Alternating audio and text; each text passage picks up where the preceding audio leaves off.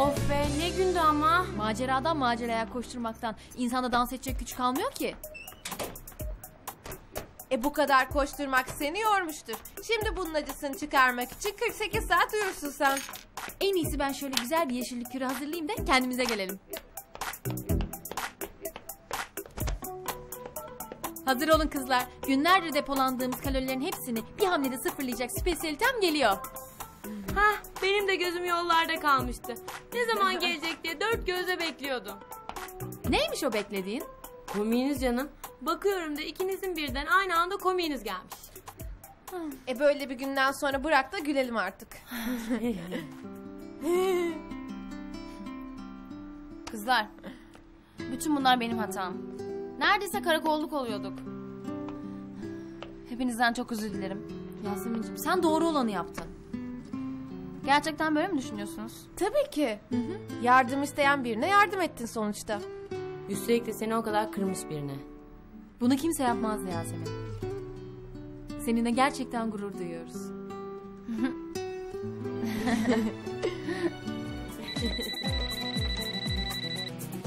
Alo? Gülçin. Efendim hocam? Merhaba. Az önce müzikalin yönetmeniyle konuştum. Yarın saat 1'de okula gelecek. Tamam mı? Sizinle tanışmak istiyor. Sakın geç kalmayın. Harika. Tamam hocam. Merak etmeyin geç kalmayız. Ay, süper. Ay, Ne olmuş? Konuşsana kızım ne zıplıyorsun öyle? Müzikalin yönetmeni bizimle tanışmak istiyormuş. ne? Selam kızlar. Merhaba. Merhaba Füsun teyze. Eniştem nasıl teyze? İyi. Hepinize selamı var. Ama evi iki günde nasıl dağıtmış anlatamam. Yani senden bile beter sarı ördeğim. Aşk olsun teyze. Sen de kızlara benzedin üç haftada ya.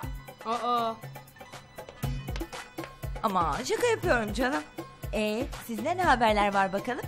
Yarın müzikalin yönetmeniyle tanışıyoruz. Harika. Bunu hemen kutlayalım. Size şöyle kocaman bir pizza yapayım. Ne dersiniz? Maalesef mutfak işgal altında Füsun teyze. Sen bir günlüğüne yok oldun Eren yeniden mutfağı ele geçirdi. Kızım hadi bırak yemeği filan ya. Git duşunu al. Çocuklar bekliyor bak hadi. Hiç kusura bakma Cemre. Spesiyalitemi yapmadan şuradan şuraya gitmeyeceğim. Aman zaten bir yere gitme Eren'cim. Hatta hep orada kal. O meşhur spesiyalitelerini de bizden uzak tut. Ah. Ben Korkut'a bakıyorum. Hayda sular yine kesilmiş. İnanmıyorum ya.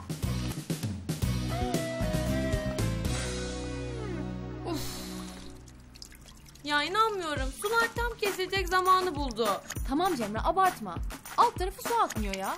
Seni gören dünya dönmeyi bıraktı zannedecek. Benim için şu an bıraktı Eren. Ya duş alıp hazırlanmadan hayatta evden çıkmam ya. Yani sular akmıyor diye Emre ile buluşmaya gitmeyeceksin. Bu çok sudan bir bahane oldu. Hem danstan sonra duş aldın ya sen.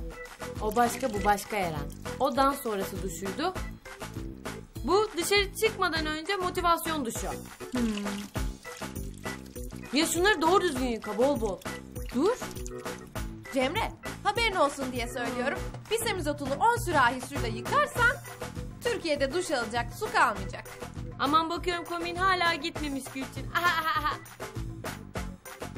Eren şu programı yarın erteledik olur değil mi? Of of Cemre ya. 40 yılın başı barışla dışarı çıkacaktık. Yarın çıkarız Eren'cim dışarısı kaçmıyor ya. Üf iyi hadi tamam. Ama çocuklar hazırlanmadan arada haber ver bari.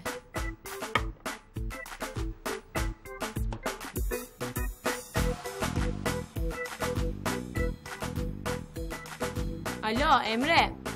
Ya biz bu gece gelemiyoruz yarın ertelesek. Ne demek